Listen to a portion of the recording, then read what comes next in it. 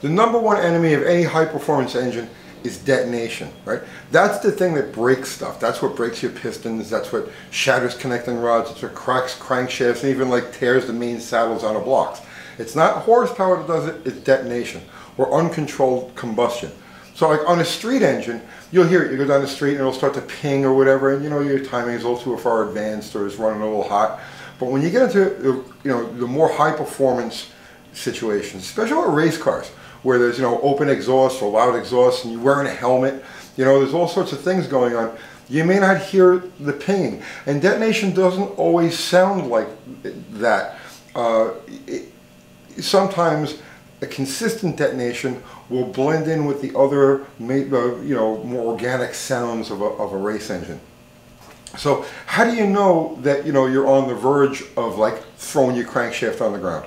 Well, one of the best ways, aside from reading plugs, because plugs will tell you half the story, but they don't tell you the whole story, you got to look at your bearings, right? The rod bearings.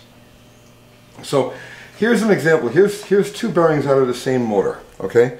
And this one here, this is how you do this. You take a caliper, right? Zero it out. Yeah, zeros, okay. And you take your measurements, right?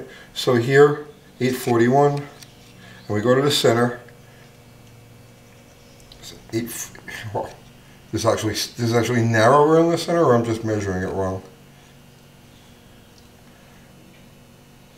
Eight, 840, 841. All right. So we're basically consistent throughout.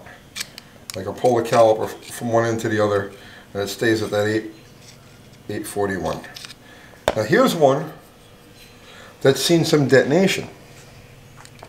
So we go to this end and we're at our 8, 842. That's, close enough for government work. 8. And we come here to the center and 861. 841.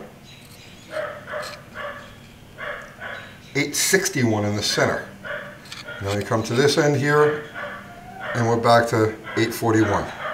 So what that's telling us is that this is the upper shell and as the engine was cycling this thing went through a period of detonation where the, the, the piston and rod assembly was pounding on it and it actually squished it out and made it wider. So that's how you read a race engine. That's a good idea, especially you're running boosted, you're running nitrous, um, you know, you're running a loud car, a super high compression deal, you've got it, you know, set for lean and mean. It's a good idea after a hard weekend of running a thing, you drop the pan and take a look at those upper shells because that's what it looks like right before it starts trying to throw parts out of itself. I'll see you tomorrow.